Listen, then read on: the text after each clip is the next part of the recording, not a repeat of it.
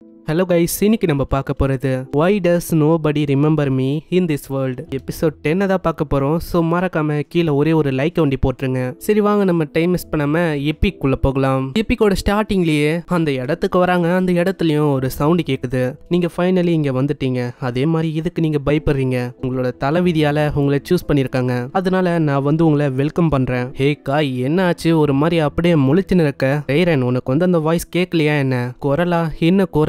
ஆனா ரின்னி அப்படியே உள்ள போக ஆரம்பிக்கிறா. உள்ளல இருந்து தான் அந்த வாய்ஸ் கேக்குதுன்னு நினைக்கிறேன். ரேரன் நீ கொஞ்ச நேரத்துக்கு இங்கே நின்னு காட் பண்ண பாரு. என்னது நான் காட் பண்ணுமா? அப்பனா நீங்க என்ன உள்ள போக போறீங்களா? இல்ல நீங்க நினைக்கிற மாதிரி எதுவும் சஸ்பீஷியஸா இருக்காது. ஆனா அதெல்லாம் கண்டுக்காம அப்படியே அவங்க உள்ள போக ஆரம்பிக்கிறாங்க. இதுக்கப்புறம் அவங்க எல்லாருமே அப்படியே உள்ள போறாங்க. உள்ள அவங்களுக்கு என்ன இருக்கு அப்படின்னு தெரியல. அங்க ரின்னேவோ சொல்றா ஏதோ ஒரு பவர் வந்து ரொம்ப ஸ்ட்ராங்கா இருக்கிற மாதிரி எனக்கு ஃபீல் ஆகுது. அதுவும் எந்த மாதிரியே தான் இருக்கு. ஆனா அது மேஜிக்கா அப்படின்னு எனக்கு சரியா தெரியல. உள்ள போக போக அங்க ஒரு லைட்டும் தெரியுது. அந்த லைட்டை நோக்கி போனா அங்க ஒரு ஸ்டாச்சுவும் இருக்கு. இந்த ஸ்டாச்சு இதை பத்தி தான் நம்ம ரைரன் சொன்னாலா இந்த ஸ்டாச்சுவை பார்க்கும்போது இது என்ன ஏன்ஷியன்டான ஒரு டெம்பிளா ஆனா காய்க்கு இதை பத்தி ஒண்ணுமே தெரியல. இதை வந்து நான் எங்கேயோ பார்த்த மாதிரி இருக்கு. ஆனா எனக்கு சரியா தெரியல. அங்க திரும்பவும் அந்த வாய்ஸ் கேக்குது. பரவாயில்லையே நீங்க வந்துட்டீங்க. அதுக்கு நான் ரொம்ப சந்தோஷப்படுறேன். அந்த குரல் எங்கல இருந்து வந்து அப்படின்னு நம்ம காய்க்கும் தெரியல மத்தவங்களுக்கும் தெரியல. குழந்தாய் நீ வந்து பயப்பட தேவையில்ல. நான் நீ தான் அந்த தேர்ந்தெடுக்கப்பட்டவன். சோ அதனால பயப்படாத. ஆமா இந்த குரல் இது வந்து எங்கல இருந்து தான் வருது. நீ வந்து பயப்பட தேவையில்ல. நான் உனக்கு முன்னாடி தான் இருக்கேன். ஆனா முன்னாடி பார்த்தா அந்த ஸ்டாச்சு தான் இருக்கு. அப்போ நீங்க சொல்றபடி பார்த்தா இந்த ஸ்டாச்சு தான் நீங்களா? ஆமா இப்போ நீ பாக்குறபடி பார்த்தனா நான் இப்போ பவர்லெஸ்ஸா இருக்கேன். அதாவது என்கிட்ட பவரே இல்ல. ஆனா காய்க்கும் மத்தவங்களுக்கும் ஒண்ணுமே புரியல. ஆனா நீங்க வந்து யாரு? அதை பத்தி எங்களுக்கு ஒண்ணுமே தெரியலையே. அதை பத்தி நான் உங்களுக்கு சொல்றேன். நான் யாருன்னா? இதுக்கு முன்னாடி ஒரு உலகம் இருந்தது. இந்த உலகத்துல இந்த ஃபைவ் ரேசஸ்க்கான வாரம் என்ன இருந்தது அந்த உலகத்துல நான் இந்த மாதிரி இங்கேயும் நான் எக்ஸிஸ்ட் ஆகுறேன் நான் சிம்பிளா சொன்னா நான் ரொம்ப வருஷமாவே நான் வெயிட் பண்ணேன். போன உலகத்துல நம்ம சிட் அந்த பிளேஸ் எடுத்தான். இந்த பிளேஸ் எடுக்கிறதுக்கு இந்த உலகத்துல யாருக்கு தகுதி இருக்கு அப்படின்னு நான் பார்த்தேன். அந்த தகுதி வந்து இப்போ உனக்கு தான் இருக்கு. அப்பனா உனக்கு சிட்டை பத்தி தெரியுமா? ஆமா எனக்கு வந்து சிட்டை பத்தி நல்லாவே தெரியும். சிட்டை பத்தி உனக்கு தெரியறதை விட எனக்கு நல்லாவே தெரியும். அதாவது எப்படி அதை பத்தி சொல்ல முடியுமா? உனக்கே நல்லா தெரியும். அதாவது நீ நல்லா என்ன உத்து பாரு. பார்க்கும்போது அவனுக்கு பழைய விஷயம் ஞாபகம் வருது. இவனோட பழைய உலகத்துல ஒரு போட்டோ வந்திருக்கும். அந்த போட்டோக்குள்ள சிட்டு ஏதோ ஒரு பொருளை வாங்குற மாதிரி இருக்கும். காடு கிட்ட இருந்து அந்த காடு தான் இவங்க. ஆமா நீ சொல்றதும் கரெக்ட் தான். ஹியூமன்ஸுக்கு என்ன எப்படி தெரியும்னா நீ சொன்ன பாத்தியா? அந்த மாதிரி தான் எனக்குன்னு ஒரு பேரும் இருக்கு. ஹாஸ்லா சோலகா அப்படின்னு ஒரு பேர்ல தான் நிறைய பேருக்கு என்ன தெரியும். இப்போதான் அங்க காய்க்கே புரியுது. அந்த கடவுள் அது வந்து இவங்க தான் அங்க ஜென்னியாவும் கேக்குறா ஆமா நீ என்ன சொல்ற? அதாவது எனக்கு புரியல. சிம்பிளா சொன்னா இவங்க தான் அந்த கடவுள். இவங்களால தான் அந்த ப்ராஃபஸியும் நம்ம சிடுக்கு கிடைச்சது. அவருக்கு ஒரு ஸ்வாடும் கிடைச்சது. அதை வச்சுதான் நாலு ரேசஸோட ஹீரோஸை தோக்கடிச்சிருப்பாரு. அதுக்கப்புறம் வாரம் ஏண்டா இருக்கும் அவரை தான் ப்ராஃபிட் சைடு அப்படின்னு எல்லாருக்கும் தெரிய ஆரம்பிச்சது. ஆனால் நான் என்ன யோசிச்சேன்னா இந்த ப்ராஃபஸி கடவுள் இவங்க வந்து ஒரு மித்து ஒரு ஃபேரி டைலில் வரவங்க அப்படின்னு தான் யோசிச்சேன். நான் என்னாலேயே இன்னமும் நம்ப முடியல. பல வருஷத்துக்கு முன்னாடி இந்த மாதிரி நிறைய பேர் வந்து ப்ரே பண்ணாங்க. கோடு கிட்ட. அந்த மாதிரி டைமில் நான் தான் இந்த ஜீரோ கோடு அப்படின்னு ஒரு விஷயத்தையே கிரியேட் பண்ணேன். அதுவும் இந்த ஹியூமனிட்டியை மற்றவங்க கிட்டேருந்து காப்பாற்றணும் இந்த விஷயம் வந்து உனக்கும் கிடைச்சிருக்கும். அங்கே காய்க்கும் இது ஞாபகம் வருது. காய் வந்து அந்த ஸ்வாட் எடுக்கும் போது ஒரு வாய்ஸ் கேட்டிருக்கும். இதுதான் இந்த உலகத்தில் தேவையில்லாத சாவு. அதை தடுக்கணும் அப்படின்னு நீ தேர்ந்தெடுக்கப்பட்டிருக்க. அதுக்கான பவர் இது. நீ தான் கோடு ஹோல்டரா இருக்க போற. இது அப்படியே அங்க சொல்றான். இப்பதான் அங்க கடவுளே சொல்றாங்க. பரவாயில்லையே உனக்கு வந்து ஞாபகம் இருக்குன்னு நினைக்கிறேன். ஆனா காய்க்கு இன்னமும் ஒரு டவுட் போகல. இந்த உலகத்துல சிட் அப்படின்னு ஒரு பர்சன் வந்து இருக்கணும். அவர் வந்து இல்ல. சரி ஏதோ ஒண்ணு. ஆனா நீங்க வந்து எனக்கு நிறையவே ஹெல்ப் பண்ணீங்க. அதுக்கு ரொம்ப நன்றி. ஆனா நல்ல வேலை நானும் ரொம்ப சந்தோஷமா இருக்கேன் தெரியுமா? நான் நீ தான் அந்த கோடு ஹோல்டரை கண்டுபிடிச்சிருக்க. ஆனா ஒரு விஷயம் என்னால நகர முடியல. நான் நான் வந்து கோடு ஹோல்டரை உருவாக்க என்னோட மொத்த ஸ்ட்ரென்த்தையும் போட்டேனா? ஸோ இதனால எனக்கு பவர் எல்லாமே போய் நான் இந்த மாதிரி ஒரு நிலைமைக்கு வந்துட்டேன். என்னால் உனக்கு ப்ராஃபஸியை தான் சொல்ல முடியும்? அதாவது இந்த கடவுள் எதுக்கு பேர் போடுவாங்கன்னா ஃபியூச்சரையும் பார்த்து சொல்ல முடியும். ஆனால் இந்த உலகத்தில் வேர்ல்ட் ஆஃப் ரீன்கனேஷன் அது நடக்கிறத என்னால் தடுக்க முடியல. ஏன்னா எல்லா பவருமே எனக்கு அதை உருவாக்குறதுக்கே போயிடுச்சா? ஸோ அதனால அதை வந்து என்னால் தடுக்க முடியல. சரி அதை பற்றி உங்களுக்கு ஏதாச்சும் தெரியுமா? அதை பற்றி ஏதாச்சும் சொல்லுங்களேன். அதை பற்றி எனக்கே அவளைக்கும் தெரியல. ஏன்னா அது என்னோட நாலேஜை கம்பேர் பண்ணால் அதுக்கும் மேலே இருக்கு. இந்த உலகத்தை சிம்பிளாக சொன்னால் ஓவர் ரைட் பண்ணியிருக்காங்க. இதனால வேர்ல்டோட ரீஇன்கார்னேஷன் ஏற்பட்டிருக்கு. சிட்டோட பிரசன்ஸும் இங்க வந்து அழிஞ்சு போயிடுச்சு. இந்த உலகத்துல ஹியூமனிட்டி தான் ஜெயிக்க வேண்டியது. அதை அப்படியே தப்பா எழுதி இந்த ஹிஸ்டரியை மாத்திட்டாங்க. அதனால இந்த உலகத்தை பொறுத்த வரைக்கும் இந்த உலகம் அப்படியே ஒரு தப்பான ஹிஸ்டரியா கிரியேட் ஆயிருக்கு. நீங்க வந்து என்ன சொல்றீங்க? என்னால நம்பவே முடியல. இதெல்லாம் பொய்யா? ஏன்னா பல டெக்கெட்ஸா ஹியூமன்ஸ் வந்து எல்லாரையுமே எதிர்த்து போராடின்னு இருக்காங்க இப்போ நாங்க போராடின போராட்டம் எல்லாமே பொய்யா என்ன? நாங்க போட்ட உழைப்பு அது எல்லாமே உண்மை இல்லையா? இல்ல ஜென்னி. உனக்கு வந்து இன்னமும் புரியல. போட்ட உழைப்பு எல்லாம் எல்லாமே உண்மைதான். ஏன்னா நான் எதுக்கு இப்படி சொல்றேன்னு உனக்கு தெரியுதா? உண்மையை சொன்னா இந்த உலகத்தோட ரீஇன்கர்னேஷன் அது முழுமையா கம்ப்ளீட் ஆகல. அப்படி கம்ப்ளீட் ஆயிருந்தா என்ன ஆயிருக்குன்னு உங்களுக்கு கெஸ் பண்ண முடியுமா? அப்படி ஆச்சுன்னா அவ்வளவுதான். இந்த உலகத்துல ஹியூமன்ஸ் அவங்க வந்து இருக்க வாய்ப்பே இல்லை. ஆமா இப்போ வந்து ஹியூமன்ஸ் இன்னமும் இருக்காங்க. அதுக்கு காரணம் நீங்களும் உங்களோட உழைப்பும் தான். எதுவுமே வேஸ்ட் ஆகல. அதனால இன்னமும் நீங்க போராடணும். அதே மாதிரி தேர்ந்தெடுக்கப்பட்டவ அது நீ தான் ப்ராஃபிட் ஜென்னு. இது கேட்குற நம்ம காயும் ஷாக் ஆகுறான். நம்மளும் ஷாக் ஆகுறோம். நான் ஏன் இப்படி சொல்றேன்னா இந்த உலகத்துல நான் கணக்கெடுத்து பார்த்தா நிறைய பேர் இருக்காங்க. ஆனா ப்ராஃபிட் சைடு அந்த பிளேஸை ரீப்ளேஸ் பண்ற அளவுக்கு யாருமே இல்லை. அதுல நீ ஒண்டி தான் இருக்க. ஸோ அதனால இந்த பிளேஸுக்கு நீ கரெக்டா இருப்ப. ஆனா நம்ம காயை பத்தி சொன்னா அவன் இந்த உலகத்துல சேர்ந்தவனே இல்லை. ஸோ அதனால இதுக்கு நீ தான் ஃபிட் ஆவ. ஆனா இப்போ வந்து நான் என்ன பண்றது? அது உங்களால சொல்ல முடியுமா? அது சிம்பிளான விஷயம் தான். நீ வழக்கு போல உன்னோட சபார்டினேட்ஸ் கூட சண்டை போடு. நீ வழக்கு போல என்ன பண்ணுவியோ அதே பண்ணு. அதே மாதிரி நீங்க எல்லாருமே தானே அந்த டீமன் ஹீரோவான வெனேசாவை தோக்கடிச்சிங்க. இதுல ஜெனேவோ இருக்கா. அதனால ஜென்னி தான் இதுக்கு கரெக்டா இருப்பா நீங்க ஒண்ணு இந்த உலகத்தை பழையபடி மாத்திட்டாலே போதும். எல்லாமே ரீஸ்டோர் ஆயிடும். அப்போனா அந்த மாஸ்டர் அது என்ன ஆகும் அந்த லாஸ்ட் ரைசர் அதை பத்தி உங்களுக்கு ஏதாச்சும் தெரியுமா? லாஸ்ட் ரைசரை பத்தி எனக்கே உண்மையா தெரியல. நான் உண்மையா சொன்னா அது பழைய உலகத்துல எக்ஸிஸ்டே ஆகாது உண்மையான உலகத்துல அது எந்ததுக்கான ஹிஸ்டரியும் இல்ல. அதனால நம்மளுக்கு தெரியல இந்த உலகத்தை நம்ம முழுமையா மாத்தினாலும் இது வந்து இதுக்கு முன்னாடி இந்த மாதிரி மாறுமா?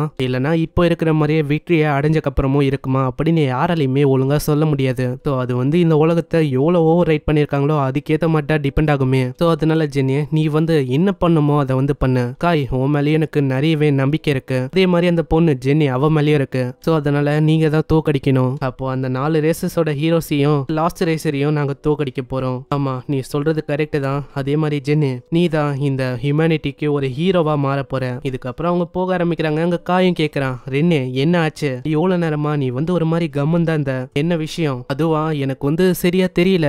ஆனா அது வந்து சரியாவே சொல்ல இப்போ நம்ம பண்ண போற விஷயத்துல டேஞ்சரா இருக்கா இல்லையான்னு. ஸ்டார்டிங்ல எல்லாமே எனக்கு சரியா பாடுற மாதிரி தான் இருந்தது. ஆனா இப்போ அது சொன்னக்கப்புறம் ஒரு மாதிரி பேடான ஃபீலிங் எனக்கு வருது. சரி நீ வந்து கவலைப்படாத. நம்ம வந்து பண்ண வேண்டிய காரியத்தை பண்ணலாம். அதுக்கப்புறம் மீதி விஷயத்த பாத்துக்கலாம் இதே மாதிரி அவங்க வெளியில வராங்க அங்க ரெய்ரன் பயங்கரமா கத்துறா. ஆமா எவ்வளவு நேரம் எதுக்காச்சு? நீங்க வந்து என்னதான் பண்ணுனீங்க உள்ள? காய் சொல்ல வரதுக்குள்ளேயே அங்க ஜின்னேவும் சொல்றா. நாங்க உள்ள போனோம் உள்ள ஒரு வியர்டான ஸ்டாச்சு பார்த்தோம் அவ்வளவுதான். அப்படின்னு பாதிய சொல்லிட்டு அவ போறா. அங்க போறதுக்குள்ளேயே ரின்னேவை அவ இழுக்கிறா "ஏய், ரென்னே அங்க மேல ஒரு ஃப்ரூட் தெரியுது பாத்தியா? அதை பறிச்சு கூட எனக்கு. ஆமா அதை பறிக்கணும்னா நீயே பறிக்கலாம்ல. அதை வச்சு நீ என்ன பண்ண போற இப்போ? உனக்கு தெரியாது அது ஒரு ஸ்பெஷலான ஃப்ரூட் அதை சாப்பிட்டா போதும் நம்மளோட காயமோ ஊண்டோ அப்படி ஹீல் ஆகும். ஆனா அதை நீயே எடுக்கலாம்ல. என்னால என்ன பறக்கவா முடியும்? உன்னால பறக்க முடியும். நீயே எடுக்கலாம் அதை. ரொம்ப லேசியா இருக்கப்பா. காயம் சொல்றான். ஹேய் ப்ராஃபிட் சென்னே நீ வந்து கவலையப்படாத. அதாவது நான் உனக்கு ஹெல்ப் பண்றேன். நம்ம இந்த ஃபைவ் ரேசஸ்க்கான வாரை எண்டாக்க போறோம். நான் என்னோட முழு பவரை வச்சு எல்லாத்தையுமே நான் உனக்காக பண்றேன். ஆமா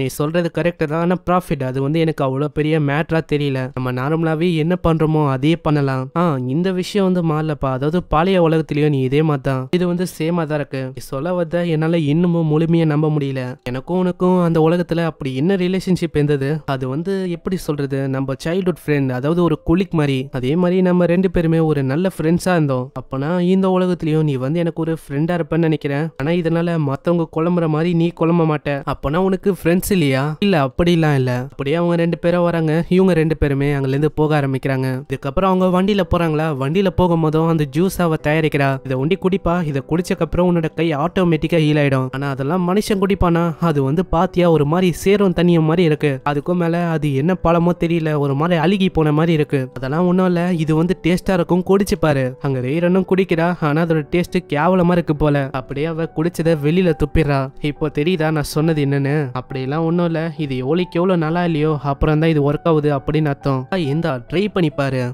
நீ வந்து ட்ரை பண்ணக்கூடாது. அதை ஒண்டி நீ குடிச்சனா செத்து கித்து போயிட போற. நீ என்ன அதை உண்மையிலேயே ட்ரை பண்ண போறியா? அங்க அந்த பொண்ணும் அப்படியே மேல நோக்கி பாக்குறா. ஏன்னா அவங்க பார்டரை கிராஸ் பண்ணிருக்காங்க. சைடு காயும் அதை மொத்தமா குடிக்கிறான் ஹேய் நீ வந்து நல்லா இருக்கல. அதாவது உனக்கு ஏதாச்சும் வாமிட் வர மாதிரி இருக்கா? நீ பிளட் வாமிட் எடுக்க போறியா? இல்ல இல்ல நான் வந்து எப்படியே இதை மேனேஜ் பண்ணிட்டேன்னு நினைக்கிறேன். எனக்கு அந்த மாதிரிலாம் எதுவும் தோணல. இந்த சைடு அந்த பொண்ணு சொல்கிறேன் ஏதோ ஒரு பிளாக்கான விஷயம் அங்க இருக்கு. ட்ரையாங்கல் ஷேப்ல ஏதோ ஒரு பில்டிங்கை கட்டி வச்ச மாதிரி இருக்கு. அது கேட்கும் போதே காய்க்கும் புரியுது. இது அதுதானே. அதாவது கிரேவியார்டு இத பத்தி இப்பதாங்க எல்லாருக்குமே சொல்ல ஆரம்பிக்கிறான். இதுதான் எங்களோட உலகத்துல ஒரு கிரேவியார்டு அப்படின்னு சொல்லுவோம். இதுக்குள்ளதான் மத்த ரேசஸ் சீல் பண்ணாங்க. ஆனா அதுக்குள்ளேயே அங்க ரினியூவோ சொல்றா. அந்த ஸ்பிரிட்டோட இனம் நம்மள வந்து சுத்து போதுன்னு நினைக்கிறேன். அந்த வானத்துல இருந்து மலை மாதிரி ஏதோ ஒரு விஷயமோ பேய ஆரம்பிக்குது. அதையும் இவங்க பயங்கரமா தாக்குறாங்க. இருந்தாலும் அதுக்கு ஒண்ணுமே ஆகுற மாதிரியே தெரியல. இந்த ஸ்பிரிட் இனத்தை நம்ம அழிக்கணும்னா அதோட ஆர்கனை நம்ம டார்கெட் பண்ணோம் அதோட ஆர்கன் வந்து மேஜிக்கால உருவாயிருக்கு. ஸோ அதை நம்ம நம்ம எரிச்சா ஒண்டி தான் நம்மளால அதை மொத்தமா அழிக்க முடியும். இப்படி இவங்க பேசின்னு இருக்கும் போதே திடீர்னு ஒரு கும்பல் வந்து அது எல்லாத்தையுமே எரிக்க ஆரம்பிக்கிறாங்க. அது எல்லாமே ஒண்ணு சேர்த்தா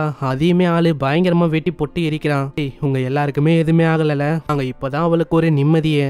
பேல்மாங் சந்திச்சதுல ரொம்ப சந்தோஷம். உங்களையும் நான் ரொம்ப நாள் கழிச்சு பாக்குறேன். அதேதான் ரொம்ப நன்றி எங்களை காப்பாத்தினதுக்கு. இந்த மாதிரி நிலைமையில எங்களை காப்பாத்திட்டீங்க. ஆமா நானும் இதை சொல்லி ஆகணும். இப்போ நீங்க ஸ்பிரிட்ஸ் கூட சண்டை போட போறீங்களா? ஆனா நீங்க கொஞ்சம் ஜாக்கிரதையா இருக்கணும் அதனாலதான் நீங்க வந்து அப்படியே மாட்டிக்கிறீங்க ஆனா அவ அப்படியே போக ஆரம்பிக்கிறா. ஹேய் நீ வந்து எங்க போற? நான் இன்னமும் பேசி முடிக்கல. வழக்கு போலதான். நீங்க பேச ஆரம்பிச்சாலே போதும். நீங்க ரொம்ப நேரம் எடுத்துக்கிறீங்க அதை நித்துறதுக்கு ஆனா அதுக்குள்ளேயே அங்க ரின்னேவும் சொல்றா. காய் அதுங்க இன்னமும் போகல. அதுங்க இங்கதான் இருக்கு. சைடில் சைட்ல பாக்குறாங்க. இன்னமும் நிறைய ஸ்பிரிட்ஸ் வந்து வர ஆரம்பிக்குது. அது எல்லாத்தையுமே மொத்தமா தாக்க ஆரம்பிக்கிறாங்க. இருந்தாலும் அது ரொம்ப அதிகமா இருக்கா? சோ அது என்னதான் தாக்குனாலும் அவ்வளோக்கும் அஃபெக்ட் ஆகுற மாதிரியே தெரியல. ரெய்ரன்னு சொல்றான் இந்த மாதிரி நம்ம இதை தாக்கணும்னா அதை அஃபெக்ட் பண்ற மாதிரி ஏதாச்சும் ஒரு மேஜிக் ஐட்டம் வந்து நம்மளுக்கு தெரியணும். மேஜிக் ஐட்டம் அப்படின்னு சொன்னனே தான் நம்ம காய்க்கே ஒரு விஷயம் ஞாபகம் வருது. ஜென்னி நான் வந்து இப்போ ஒரு விஷயத்த பண்ண போறேன். டைரக்ஷனை நோக்கி மத்தவங்கள டப்புன்னு போக சொல்லு. அதே மாதிரி அவனோட கன் எடுத்து அங்க ஃபயர் பண்றானா? அதனால ஒரு வலியும் கிரியேட் ஆகுது. சீக்கிரம் எல்லாரையுமே அந்த வழியில போக சொல்லுங்க. அதே மாதிரி அவங்க தப்பிக்கிறாங்க. அங்க எல்லாருக்கும் அவ்வளவு சந்தோஷம். நான் நினைச்சு பார்த்த மாதிரியே டார்ஃப் வந்து உண்மையிலேயே ஜீனியஸான ஆளுங்க தான். அவங்க நல்ல வேலை இந்த மாதிரி புல்லட் எல்லாம் செஞ்சு வச்சிருந்தாங்க. பரவாயில்லையே ஜெனி உன்னோட சப்பார்டினேட் வந்து வேற லெவல் பண்ணிட்டாங்க. அவனும் சப்பார்டினேட் இல்ல அவன் என்னோட ஃப்ரெண்டு ஃப்ரெண்டா ஆமா அவன் ஃப்ரெண்டு